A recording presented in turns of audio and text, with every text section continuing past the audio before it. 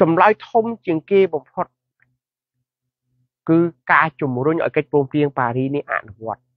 បើទាំងពលរដ្ឋខ្មែរមន្ត្រីមេដឹកនាំដែលស្នេហាជាតិខ្មែរ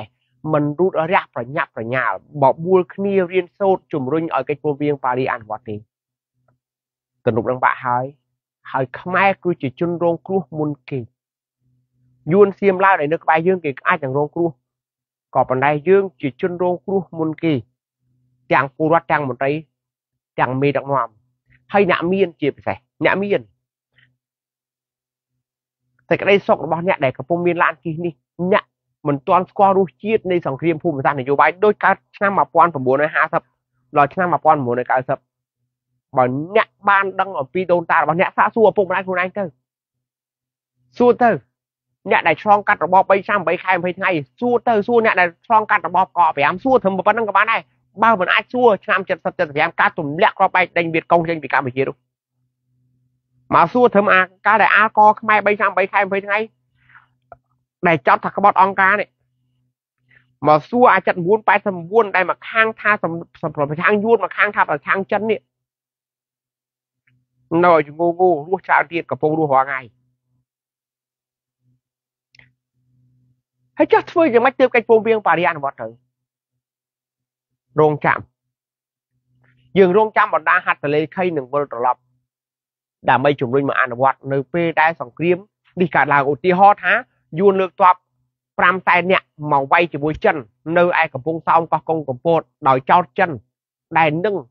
ចិនកំពុងតែមានប្រជាជនមិនតិចជាង100,000នាក់កំពុងតែរស់នៅតំបន់កចេះសំទោស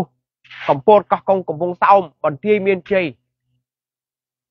នេះមកកូវីដនឹងចេញអស់មកមកមកមកកំហុកនេះប៉ុន្តែចិននឹងងើបមកវិញយួនដាក់ការសង្ស័យបែបហ្នឹងរងចាំចិនលើកតបមកវាយប្រឆាំងយួនថាមករំដោះយកកោះត្រល់មករំដោះយកខ្មែរក្រមលាក់ឲ្យខ្មែរវិញរងចាំទៅ ពេលដែលសង្គ្រាមវាកាត់ឡើងប៉ុន្តែអ្នករងចាំនោះបែរស្លាប់អស់ហើយពេលនោះរំំតែពួកគេធ្វើសង្គ្រាមគេមិនធ្វើយូរគេមិនធ្វើមកផ្លេតហើយទេដូចរុស្ស៊ីបែរឲ្យខែនអញ្ចឹង ថាវាយរុស្ស៊ីថាវាយ72ម៉ោងហីអឺមើលទៅហើយចំណែកឯអ៊ីស្រាអែលថាវាយហាម៉ាស់វិញគេថាវាយតែ24ម៉ោងទេអាមេរិកថាវាយអាហ្វហ្គានីស្ថានថាវាយតែកន្លះឆ្នាំទេ20ឆ្នាំពូជខ្មែរលើកនេះបើពិតជាមានសង្គ្រាមម្ដងទៀតលែងការរងចាំរបស់អ្នកគឺអាសាសូនហើយ តែរងចាំបានណាតែខ្ញុំថានិយាយចឹងអត់ឲ្យរងចាំចោះអញ្ជើញរងចាំរងចាំមេតំណងខ្មែរណាមួយនោះគេញាស់ចេញមកគេទាញកិច្ចព្រមព្រៀងប៉ារីសដើរទៀមទៀមហ្មងរងចាំគណៈរដ្ឋមន្ត្រីខ្មែរទាញកិច្ចព្រមព្រៀងប៉ារីសទៅតែបងប្អូនមានជំរឿនទី2គឺកុំរងចាំពួកខ្ញុំប្រើពេលអស់2303ថ្ងៃហើយបងប្អូននេះខ្ញុំតាំងពីតែ2នាក់ផងប្រើប្រាស់ពេលវេលា2303ថ្ងៃហើយចុះបងប្អូន150រូបនេះ តើអ្នកបានចំណាយកាយវាចាចិត្តរបស់អ្នកធ្វើរឿងកិច្ចព្រមព្រៀងប៉ារីសនៅផ្សាយនៅអប់រំបណ្ដុះបណ្ដាលនៅដោយចែករំលែកតាមភូមិតាមស្រុកតាមខេត្តនៅខ្ញុំដើរបង្រៀនតាមភូមិតាមស្រុកតាមខេត្តហើយឥឡូវនេះក៏បង្រៀននៅខ្មែរជាពលករចំណាក់ស្រុកហើយក៏បង្រៀនខ្មែរដែលជាជនជាតិដើមភាគតិចជនជាតិភាគតិចរួមជាមួយខ្មែរក្រោមហើយក៏ពួកយើងក៏បង្រៀនទៅអតីតជនភៀសខ្លួនដែរ តែអ្នកមើលតែពួកខ្ញុំអត់មើលខ្លួនឯងមិនកើតបងជាងអេមបងសូសឿនបើអ្នកទាំងអស់គ្នាខ្ញុំអាចបង្រៀនបងសូសឿនតែខ្ញុំមិនអាចបង្រៀនកូននិងប្រពន្ធឬក៏ក្រុមគ្រួសាររបស់បងសូសឿនបានតែបងអាចនិយាយជាមួយប្រពន្ធជាមួយកូនជាមួយគ្រួសារបានជាមួយមិត្តរួមថ្នាក់មិត្តរួមការងារជាមួយនឹងមិត្តរួមភូមិបាននោះហើយគឺជារឿងដែលអ្នកធ្វើលើសពីខ្ញុំដែលខ្ញុំធ្វើមិនកើតបង KH ស្រីមិញ ខ្ញុំអាចនិយាយជាមួយអ្នកនៅទីនេះប៉ុន្តែអ្នកបងអូនស្រីមិញមួយណាទៅកំពង់ស្ពឺអូអាបងអូនបងអាចនិយាយជាមួយបងអូនបាន តែខ្ញុំមិនមានសមត្ថភាពគ្រប់គ្រាន់និយាយជាមួយមិត្តរួមថ្នាក់មិត្តរួមការងាររបស់បងអូនអញ្ចឹងមានតែបងអូនខំប្រឹងនិយាយជាមួយពួកគាត់នេះទើបមិនរងចាំ បើរងចាំគណៈរដ្ឋមន្ត្រីបើរងចាំបណ្ដាហត្ថលេខីរងចាំចោះតែយើងមិនអាចចាំរងរងចាំបន្តទៀតទេប្រឹងប្រឹងអញ្ចឹងនេះគឺជាពាក្យទី1ពាក្យទី2ចង់ឲ្យខ្មែរមិនអនុញ្ញាតឲ្យទឹកដីខ្មែរខ្លាយជាជ្រុញឯពលរដ្ឋមន្ត្រីមេដឹកនាំស្នេហាជាតិខ្មែរខ្លាយជាសាច់មន្ត្រីដែលជាអាយ៉ងយួនអាយ៉ងចិនអាយ៉ងអាមេរិកអាយ៉ងទៀមអាយ៉ងបរទេសខ្លាយទៅជាកំបិតតាំងតោ កៈពូថៅហើយបរទេសជាអ្នកកាន់ដងកំបិតដងពូថៅដងពកៈនេះបានចិញ្ច្រាំសាច់ខ្មែរគេឲ្យមន្ត្រីខ្មែរសម្រាប់ពលរដ្ឋខ្មែរគេឲ្យមន្ត្រីមេដឹកនាំខ្មែរសម្រាប់មន្ត្រីល្អខ្មែរសម្រាប់មន្ត្រីមេដឹកនាំនិងប្រជាពលរដ្ឋខ្មែរបានបើយើងចង់កុំឲ្យវាកើតឡើងត្រូវតែប្រទេសកម្ពុជាជាប្រទេសដែលមាននីតិរដ្ឋពាក្យទី2គឺនីតិរដ្ឋពាក្យទី1កិច្ចព្រមព្រៀងប៉ារីពាក្យទី2គឺនីតិរដ្ឋហើយចាស់ធ្វើយ៉ាងម៉េចកើតនីតិរដ្ឋ ងាយទេរងចាំកិច្ចព្រមព្រៀងប៉ារីអនុវត្តនឹងធ្វើឲ្យកើតនីតិរដ្ឋរងចាំបណ្ដាហត្ថលេខីអន្តរាគមដើម្បីធានានីតិរដ្ឋដោយរឿង EBA ចឹងសហគមន៍អឺរ៉ុបដាក់សម្ពាធដល់រដ្ឋាភិបាលខ្មែរដើម្បីឲ្យដោះលែងសង្គ្រោះជាតិដើម្បីឲ្យដោះលែងលោកគឹមសកាដើម្បីដោះលែងសកម្មជនសិទ្ធិមនុស្សដើម្បីឲ្យដោះលែងអ្នកសារព័ត៌មានយើងរងចាំបណ្ដាហត្ថលេខីដាក់ទណ្ឌកម្មយើងរងចាំមេដឹកនាំខ្មែរអំណាចកម្ពុជាទាំង3គឺមន្ត្រីមេដឹកនាំអំណាចនីតិបញ្ញត្តិអំណាចនីតិប្រវត្តិអំណាចតុលាការគាត់ដឹងខ្លួនឯង គាត់ធ្វើឲ្យខ្លួនឯងខ្លាយទៅជាស្ថាប័នឯករាជ្យមិនចំណុះឲ្យគណៈបកនយោបាយតែថាស្ថាប័នសភាជាតិជាសភាតំណាងរាស្ត្រមិនតំណាងបកគណៈរដ្ឋមន្ត្រីគឺជាមន្ត្រីសាធារណៈមិនមែនជាមន្ត្រីបកតែដាច់លឿនឡើងដាច់ឥឡូវហើយតែដាច់លឿនលឿនតិចនោះបោះបោះនៅក្បែរសសរដេញវាត្មងទៅដេញវាទៅឲ្យឆ្ងាយត្មងនេះនេះអាខាងនេះដែរនេះនេះសំទោសបងប្អូន គូដាច់ដាច់ខ្សែភ្លើងមួយឆក់រងចាំរងចាំអំណាចតឡាការជាតឡាការកម្ពុជាជាតឡាការអយុត្តិធម៌នេះគឺបងប្អូនរងចាំតែនៅក្នុងនីតិរដ្ឋនេះបងប្អូនមិនចាំបាច់រងចាំក៏បានបងប្អូនធ្វើជាពលរដ្ឋឯកតនាមបងប្អូនធ្វើជាពលរដ្ឋសកម្មបងប្អូនធ្វើជាពលរដ្ឋនីតិរដ្ឋអ្នកទាំងអស់គ្នាអាចធ្វើជាពលរដ្ឋឯកតនាម ដោយបងប្អូនរៀនច្បាប់បោះឆ្នោតដើម្បីធ្វើជាម្ចាស់មន្ត្រីគោជបចេះច្បាប់បោះឆ្នោតហើយបង្កើតបញ្ជីសំណួរសួរដើរសួរមកគោជបឃុំខេត្តទាំងជាតិចេះច្បាប់បោះឆ្នោតចេះច្បាប់នយោបាយចេះកតិកាសញ្ញាអន្តរជាតិនៃសិទ្ធិពលរដ្ឋសិទ្ធិនយោបាយមានទាំងសភៅទាំងអស់ណាចេះច្បាប់រដ្ឋធម្មនុញ្ញចេះកិច្ចព្រមព្រៀងប៉ារីទុកទៅសួរមន្ត្រីគោជបទុកទៅសួរគណៈបកនយោបាយដែលឈរឈ្មោះយើងបោះឆ្នោតដែលអ្នកសង្ស័យថាទោះបីអ្នកមិនបោះឆ្នោតឲ្យក៏ពួកនឹងជាប់ដែរត្រូវសួរពួក អ្នកតំណាងទាំងអស់ហ្នឹងអ្នកមិនស្រឡាញ់គេឲ្យស្អប់គេតណាក៏ដោយក៏អ្នកមិនត្រូវបោះបង់ពួកគេចោលដែរព្រោះទោះបីជាអ្នកមិនបោះឆ្នោតឲ្យគេក៏គេជាប់ហើយគេទោះបីជាបងប្អូនតបប៉ុណ្ណាក៏គេដឹកនាំប្រទេសដឹកនាំឃុំសង្កាត់ស្រុកខេត្តរបស់យើងយើងទៅតែធ្វើជាម្ចាស់ពួកគេបងប្អូននេះហៅថាពលរដ្ឋឯកតនាមពលរដ្ឋនីតិរដ្ឋគឺជាពលរដ្ឋដែលចេះក្រមសិលធម៌វិជ្ជាជីវៈរៀនច្បាប់របស់រដ្ឋសភារៀនច្បាប់របស់គណៈរដ្ឋមន្ត្រីរៀនច្បាប់របស់តុលាការ មិនមែនរៀនឲ្យខ្លាយទៅជាតំណាងរាស្ត្រមិនមែនរៀនឲ្យទៅជានាយកអន្តរមិនមែនរៀនឲ្យទៅជាចៅក្រមទេហេបើធ្វើចឹងបានអបអរសាទរអបអរសាទរឲ្យខ្មែរទៅតែរៀននេះរៀនក្នុងនាមជាពលរដ្ឋដើម្បីឲ្យដឹងថាខ្លួនឯងមានកាតព្វកិច្ចអីចំពោះតំណាងរាស្ត្រទៅស្គាល់មណ្ឌលតំណាងរាស្ត្រដាក់សំណួរសួរតើតំណាងរាស្ត្រធ្វើអីនៅខេត្តនីមួយៗបងប្អូននៅគ្រប់ខេត្តទាំងអស់សុទ្ធតែមានមណ្ឌលតំណាងរាស្ត្រតើអ្នកដែលទៅឃើញទ្វារតំណាងរាស្ត្រឃើញរបងតំណាងរាស្ត្រនៅ បងសូសឿនបើនៅកំពង់ធំទល់មុខផ្សារកំពង់ធំហ្មងទល់ទល់មុខផ្សារកំពង់ធំបើនៅកំពង់ឆ្នាំងនៅទល់មុខសាលាខេត្តកំពង់ឆ្នាំងហ្មងបើនៅបាត់ដំបងនៅជាប់តាដំបងពញូបងប្អូនរាល់រាល់គ្រប់ខេត្តនីមួយៗសុទ្ធតែមានមណ្ឌលតំណាងរាស្ត្រតើអ្នកដែលបានទៅសួរសុខទុក្ខតំណាងរាស្ត្រដោយកាន់សៀវភៅច្បាប់រដ្ឋសភាទៅជាមួយទៅសួរនាំគេឲ្យស្គាល់ឲ្យយល់អំពីកតាបកិច្ចរបស់ពួកគេនៅ បងតែវណាមិនដែលទេហើយអញ្ចឹងបើចង់ឲ្យនីតិរដ្ឋនីតិរដ្ឋមិនកើតបើមិនដែលស្គាល់ទៅផងហ៎បងនិយាយស្វិតសំណាងមិនដែលហ៊ាននិយាយជាមួយតំណាងរាស្ត្រសោះហើយចង់បាននីតិរដ្ឋឥឡូវកើតនីតិរដ្ឋយ៉ាងម៉េចពលរដ្ឋនីតិរដ្ឋជាពលរដ្ឋដែលហ៊ានកាន់ច្បាប់និយាយតំណាងរាស្ត្រ នេះចាប់បើគេចាប់ដាក់គុកដាក់ច្បាប់គេបាយធ្វើបាបទៅឃើញទេអាចោលួចជាតិយើងវាក្លាហានលួចជាតិឯឯងជាម្ចាស់ជាតិខ្លាចគេធ្វើបាបអាចោលលួចជាតិវាមកលួចផ្ទះសម្បែងយើងលួចឆក់ប្រដីគ្នាយើង យើងបែរទៅជាខ្លាចការពារទ្រព្យសម្បត្តិយើងអញ្ចឹងយើងរត់ចោលស្រុកយើងទាំងអស់គ្នាទៅហើយកុំខឹងកុំមួម៉ៅដល់ក្រហាយនឹងអាចោលលួចជាតិទៀតទៅនៅស្រុកថៃអស់ទៅទៅទៅបងតែវណ្ណា ចុះខ្ញុំវិញបងតែវណ្ណាពេលដែលខ្ញុំនិយាយនេះបងយល់ថាខ្ញុំមិនបានធ្វើទេហើយចុះខ្ញុំនិយាយទីតាំងនៃតំណាងរាស្ត្រនីមួយៗខ្ញុំនិយាយបានបងតែវណ្ណាជាជាងមកសួរចំណែននឹងខ្ញុំឬក៏សង្ស័យដែលខ្ញុំមិនធ្វើឥឡូវបោះបងតែវណ្ណាហ៊ានឡើងមកភ្នំពេញឡើងទៅរដ្ឋសភាជាមួយខ្ញុំទេកុំមកសួរ ពីព្រោះតែចង់ដឹងថាខ្ញុំធ្វើមិនធ្វើបើយល់ថាគំនិតនេះជាគំនិតអន់នឹងថោកទាបបងឈប់ស្ដាប់ហើយដើរចេញគ្រាន់តែបងឈប់ស្ដាប់ដើរចេញព្រោះគំនិតអាក្រក់គំនិតវាមិនជួយដល់បងផងបងស្ដាប់យកធ្វើអីមិនចឹង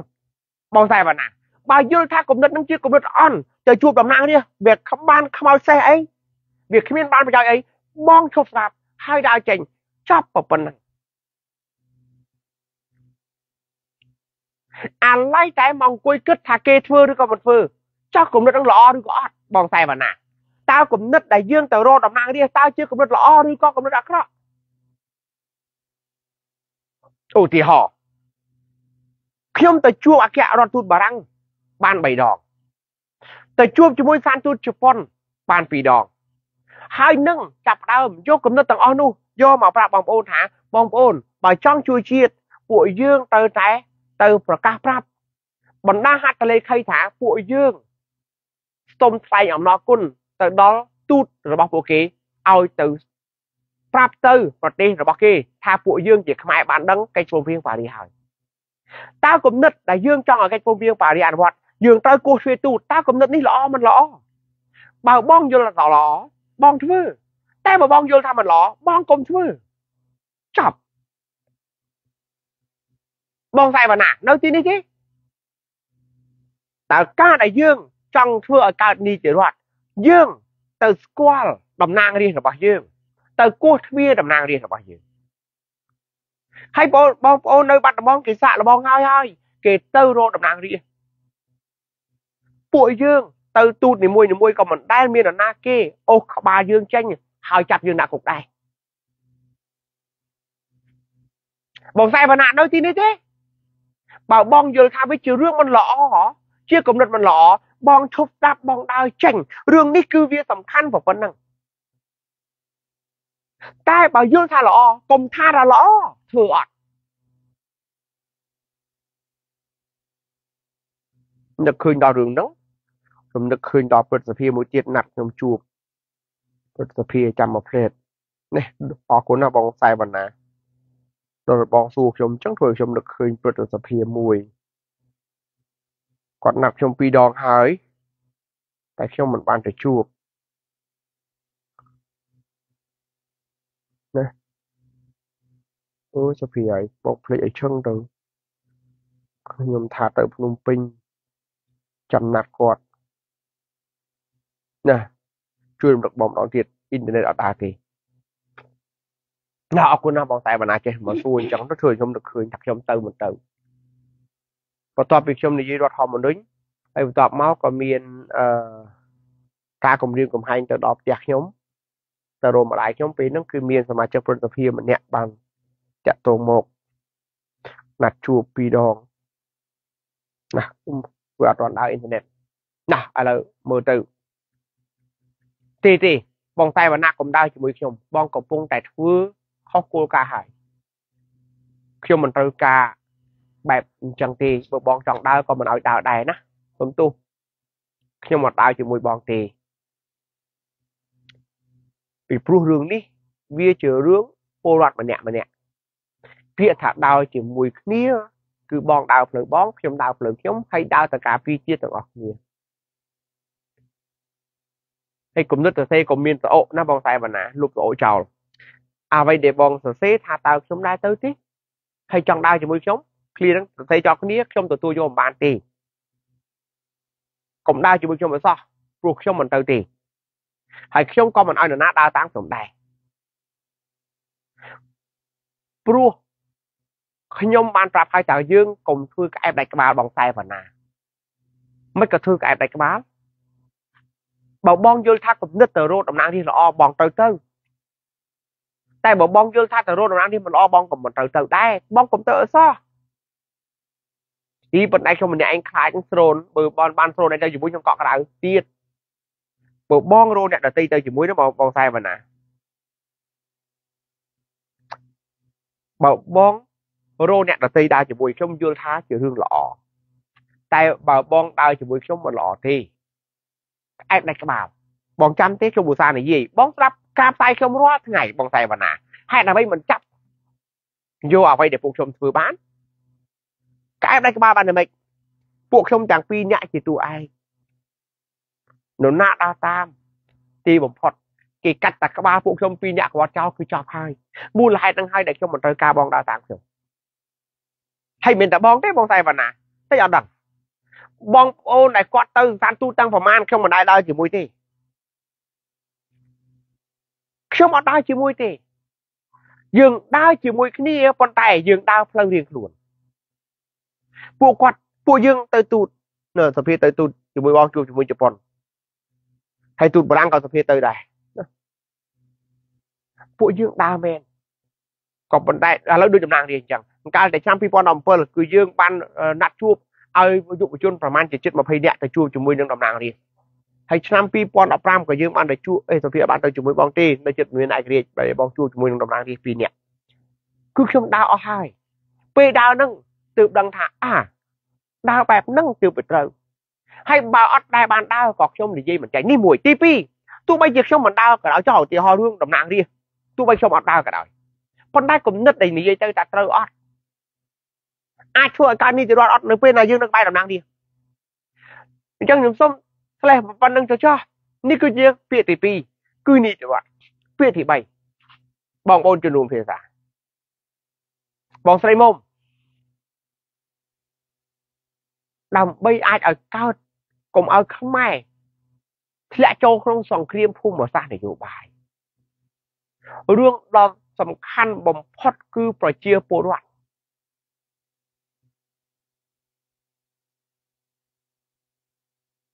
ណាបងតែវណ្ណាយល់ល្អបងចាក់ទងជាមួយបងគៀងហុងបងគៀងហុងនៅទីនេះចាក់ទងជាមួយបងតែវណ្ណាឬក៏បងតែវណ្ណាអាចចាក់ទងជាមួយនឹងបងប្អូននៅទីនេះបន្តទៀតបងតែវណ្ណាការភ័យខ្លាចរបស់បងមិនមែនជារឿងខុសឆ្គងទេណាកុំច្រឡំតែបើបងចង់ដើរជាមួយខ្ញុំអត់អត់បានដើរទេបើចង់ដើរជាមួយមានអីមកដេករោងគោជាមួយខ្ញុំនេះយប់ហ្នឹងខ្ញុំដេករោងគោចេះនេះមកដើរជាមួយបានហើយដេកហ្នឹងខ្ញុំដេកហ្នឹងកន្លែងកតុយគោហ្នឹងកន្លែងគោតុយគូតមកហ្នឹង មកមកដើរជាមួយខ្ញុំពិបាកណាស់បងប្អូនបងបងបងពុតខ្សែបងពុតថែមគឺលើកទី3នេះគឺការអប់រំពលរដ្ឋឲ្យយល់អំពីសង្គ្រាមភូមិសាស្ត្រនយោបាយនេះគឺជារឿងដែលត្រូវការពេលវេលាបំផុតបើចង់កុំឲ្យមានចំនួនភូមិសាស្ត្រនយោបាយលុះត្រាតែប្រជាពលរដ្ឋអត់រារាតាមព្រឹត្តិការណ៍ហើយរឿងនេះពួកខ្ញុំខំប្រឹងទុកណាស់ប៉ុន្តែខ្ញុំដឹងថា របៀបធ្វើរបស់ពួកខ្ញុំនេះទប់នឹងអតិពលគេនឹងមិនជាប់ទេតែខ្ញុំអាចប្រាប់ដំណោះស្រាយថាមានតែអប់រំពលរដ្ឋឲ្យឈរនៅលើគោលការណ៍ជាតិដោយយកកិច្ចព្រមព្រៀងសន្តិភាពទីកុងប៉ារីដោយយកច្បាប់ជាតិច្បាប់អន្តរជាតិដោយយកសិលសមាធិបញ្ញាការមិនមានឆៃដោយយកសុជិពលិបញ្ញាសុជិពលិដើម្បីធានាដល់ការប្រើប្រាស់បញ្ញាទេទើបអាចធានាមិនកុំថាឲ្យសង្គ្រាមភូមិសាស្ត្រនយោបាយ របបផ្ដាច់ការគុំលិសក្តារភូមិក៏អត់អូសពលរដ្ឋបានដែរបងសែវណ្ណាពេលដែលបងសរសេរតែខ្លាចនេះហើយគឺការបាត់បញ្ញាលពូសុគូជនរួមភាសាអើយការអប់រំពលរដ្ឋនេះគឺមានលក្ខណៈពិសេសយូរអង្វែងតែពួកខ្ញុំអត់មាន studio ដែលអាចឲ្យមនុស្សមើលម្ដងពី3សែននាក់ពី3លាននាក់ពួកខ្ញុំអត់មាន សម្រស់នឹងការនិយាយចាក់ទាញធ្វើឲ្យមនុស្សមកមើលរាប់ 100k ទេនេះមើលបានតែត្រឹមតែ150 100 140 150រូបនេះជាទៀងទាត់គឺអស្ចារ្យណាស់ទៅហើយពួកខ្ញុំដឹងសមត្ថភាពនិងលទ្ធភាពពួកខ្ញុំច្បាស់ណាស់អញ្ចឹងថ្ងៃនេះដូចជាការផ្ដាំទុកអញ្ចឹងថាបងប្អូនណា ដែលចង់បញ្ជាសង្គ្រាមភូមិសាស្ត្រនយោបាយ មានតែយើងបោះចូលរួមបង្រៀនឥឡូវដូចបងតែវណ្ណាបងតែវណ្ណាបើបងមិនទាន់អាចធ្វើអីបានអាចទេត្រឹមបងសរសេរកិច្ចព្រមព្រៀងប៉ារីបងចេញ live បានទេបងតែវណ្ណាចេញផ្សាយកិច្ចព្រមព្រៀងប៉ារីឲ្យបងប្អូនបានពិចារណាបានទេបងស្ដីតាខ្ញុំក្នុងវីដេអូរូបរបស់ខ្ញុំនេះឃើញតែ150រូបទេខ្ញុំមិនបានដឹងថាមានអ្នកមើលចំនួន200ទេប៉ុន្តែទោះបី200ក៏ឲ្យ300ក៏ដោយពួកយើងបានដឹងថា ការបណ្ដុះបណ្ដាលការអប់រំផ្សព្វផ្សាយត្រូវការពេលវេលាយូរណាស់តែបើកាលណាយើងនៅតែប្រឹងប្រែងគិតមើលព្រឹក7កន្លះ8កន្លះថ្ងៃត្រង់2ទៅ10កន្លះ1កន្លះល្ងាច5កន្លះ7កន្លះហើយពីថ្ងៃ10ធ្នូខ្ញុំថែម1ម៉ោងទៀតគឺម៉ោង11ដល់ម៉ោង12ព្រឹកម៉ោង11ដល់ម៉ោង12ព្រឹកពីថ្ងៃ10ធ្នូទៅ គឺបង្រៀនច្បាប់ សិទ្ធិមនុស្សកម្ពុជាថែមមួយទៀតព្រោះដឹងថាមានតែការអប់រំសាកបងតែវណ្ណាបងសាកចេញអំពីអ្វីដែលបងអាចធ្វើបានបើបងមិនអាចឡាយបងសរសេរបងសរសេរបន្តិចបន្តិចអ្វីដែលបងយល់តាមកិច្ចព្រមព្រៀងប៉ារីសតាមរដ្ឋធម្មនុញ្ញតាមក្រមភូមិតនក្រមរដ្ឋប្រវេណីច្បាប់ភូមិបាលច្បាប់ណាដែលបងយល់ថាសរសេរទៅធ្វើទៅវាបានប្រយោជន៍ដល់បងខ្លួនឯងបានប្រយោជន៍ដល់មនុស្សនៅក្នុង Facebook ផងបងសាកសិន កុំទាន់ប្រញាប់បើថាបងមិនទាន់មានឱកាសនៅក្នុងការមកជួបទូតឬក៏មកជួបសមាជិករដ្ឋាភិបាលប្រទេសទេសាកជាមួយនឹងការផ្សាយតាម Facebook តខ្លួនសិនចឹងខ្ញុំសូមពាក្យទី3ចប់ប៉ុណ្ណឹងណាគឺមានតែអប់រំផ្សព្វផ្សាយបណ្ដុះបណ្ដាលពលរដ្ឋខ្មែរកុំឲ្យរត់តាមព្រឹត្តិការណ៍ទេទើបជាឱកាសដែលយើងមិនអាចឲ្យគេប្រើប្រាស់ឧបាយកលនៃសង្គ្រាមភូមិសាស្ត្រនយោបាយនោះមកយកខ្មែរទៅជន់ឈ្លីមិនឲ្យខ្មែរពលរដ្ឋហើយនឹងមន្ត្រីមានគម្លាតនឹងគ្នា ព្រោះកាលណាមន្ត្រីនិងពលរដ្ឋស្អប់ខ្ពើមគ្នាខ្លាចប្រអាគ្នាយើងចាញ់បោកគេហើយមន្ត្រីនឹងអាចមានឱកាសសម្រាប់ពលរដ្ឋឯពលរដ្ឋនឹងបាតកម្មបះបោរដ្ឋប្រហារប្រឆាំងនឹងមន្ត្រីយើងចាច់បោកគេហើយ